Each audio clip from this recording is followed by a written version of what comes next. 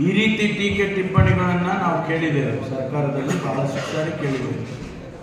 ಈಗಾಗಲೇ ತಮಗೆ ಗೊತ್ತಿದ್ದಂಗೆ ಈಗ ಕೋರ್ಟಲ್ಲಿ ವಿಚಾರಗಳು ಇದೆ.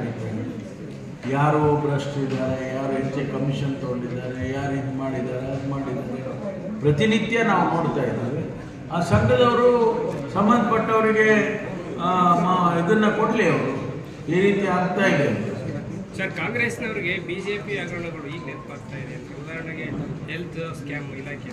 ಸುಧಾಕರ್ ನೋಡಿ ನಾವು ಈಗೇನಲ್ಲ ನಾವು ಸರ್ಕಾರ ಬಂದಾಗಲೇ ಹೇಳಿದ್ದೇವೆ ಅನೇಕ ರೀತಿಯಲ್ಲಿ ಏನು ಕೋವಿಡ್ ಅಲ್ಲಿರ್ಬೋದು ಅಥವಾ ಮೈನಿಂಗ್ ಅಲ್ಲಿರ್ಬೋದು ಅಥವಾ ಬೇರೆ ಬೇರೆ ರೀತಿಯಲ್ಲಿ ಅನೇಕ ವಿಚಾರಗಳಲ್ಲಿ ಹಗರಣಗಳಾಗಿದೆ. ಅವೆಲ್ಲ ತನಿಖೆ ಮಾಡ್ತೇವೆ ಅಂತ ನಾವು ಮೊದಲೇ ಹೇಳಿದ್ದೇವೆ.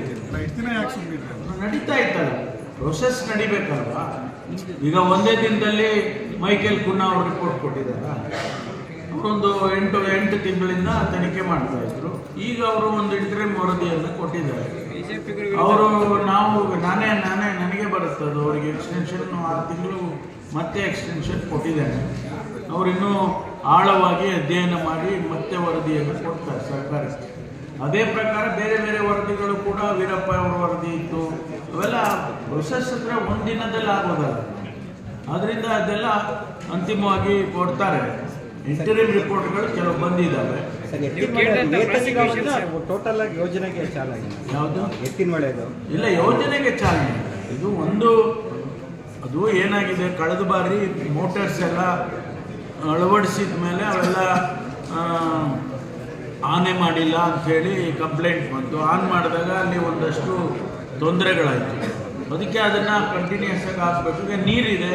ಆ ನೀರನ್ನು ಲಿಫ್ಟ್ ಮಾಡಿ ನೋಡೋಣ ಎಲ್ಲಿವರೆಗೂ ಸಾಧ್ಯ ಆಗುತ್ತೆ ಅಂತೇಳಿ ಅದನ್ನು ವಾಣವಿಲಾಸ ಸಾಗರಕ್ಕೆ ಹೋಗುತ್ತೆ. ಅಲ್ಲಿಂದ ಲಿಫ್ಟ್ ಮಾಡಿದ್ರೆ ತೌಸಂಡ್ ಫೈವ್ ಹಂಡ್ರೆಡ್ ಕ್ಯೂಸೆಕ್ಸ್ ಹೋಗುತ್ತೆ. ಅದನ್ನು ಮಾಡ್ತೀವಿ. ಆಮೇಲೆ ಈ ಕಡೆ, ಈ ಭಾಗದಲ್ಲಿ ಅರಸೀಕೆರೆಯಿಂದ ತಿಪ್ಟೂರು, ತಿಪ್ಟೂರಿಂದ ತುಮಕೂರು. ಈ ಭಾಗಕ್ಕೆ ಬರಬೇಕಾದ್ರೆ ಕೆಲಸಗಳಾಗಬೇಕು. ಅಕ್ವಾಡಕ್ಟ್ ಆಗಬೇಕು. ಅಲ್ಲಿ ಫಾರೆಸ್ಟ್ ಏರಿಯಾದಲ್ಲಿ ಮೂರುವರೆ ಕಿಲೋಮೀಟ್ರ್ ಫಾರೆಸ್ಟ್ ಏರಿಯಾದಲ್ಲಿ ಪೈಪ್ ಹಾಕ್ಕೊಂಡು ಬರಬೇಕು ನಾವು.